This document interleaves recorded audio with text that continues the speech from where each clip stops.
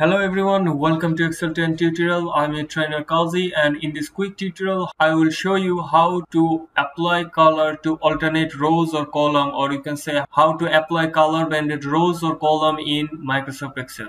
Okay, so what we are going to do is apply color to every second rows or every second columns. Okay, here is the end result. So if we apply color banded rows, the result will be like this if we apply color banded columns the result will be like this.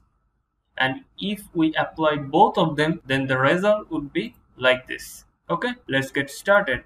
To apply color to every alternate cells in Microsoft Excel first we have to select the range where we want to apply the color banded rows. First click on the home tab and go to the conditional formatting. Click on new rule and select this one. Use a formula to determine which cell to format. Now write this formula in this formula bar okay? The formula will be in the description. Just copy it from there. So this this formula is for color banded rows okay? Now click on format and select the color. I am selecting this one and click ok. Now click ok again.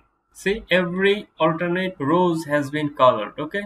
Now if you want to apply color banded columns just select this area and i'm going to apply color to every alternate column okay? Same way home tab conditional formatting new rules use a formula to determine which cell to format and the next formula will be this one. Again copy it in from the description below and paste it here click on format select the color click ok and ok again. So this one is color banded rows and this one is color banded columns. If you want to use both of them at a time just select the range. So this one is already color banded rows and i'm just going to apply color banded columns by using conditional formatting new rules use formula and write the formula format and change the color. Click ok. Ok again. So here I have used color banded rows and column at a time. That's it for this lesson. If you want to learn Microsoft Excel VBA, check this playlist. If you want to support the channel, click this link here and please subscribe the channel